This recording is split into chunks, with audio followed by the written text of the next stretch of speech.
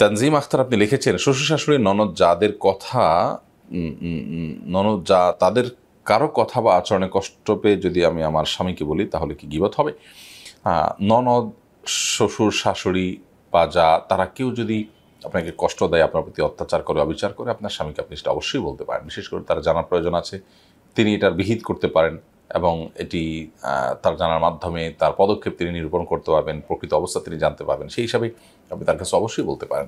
কারণ ক্ষয়ক্ষতি থেকে ক্ষয়ক্ষতি দ্বারা আপনি আক্রান্ত হলে, কোনো ব্যক্তির কাছে বললে সেটির বিহিত হওয়ার সম্ভাবনা ন্যূনতম যদি থাকে তাহলে সেক্ষেত্রে তার সঙ্গে সেটি শেয়ার করাটা দোষণীয় নয়। তাছাড়া আল্লাহ তালা কোরআন কারিমে বলেছেন লাইফ হাবুল্লাহ বিশ্ব ইমিনাল কাউলি ইল্লা মঞ্জুরি কেউ মন্দ কোনো কিছুকে প্রকাশ করে বেড়াক, এটা আল্লাহ তালা পছন্দ করে না। তবে কেউ জুলুমের শিকার হলে তার অধিকার রয়েছে সে বিষয়ে মজলুম হিসাবে জালেমের বিরুদ্ধে কথা বলা এবং মুখ খোলা।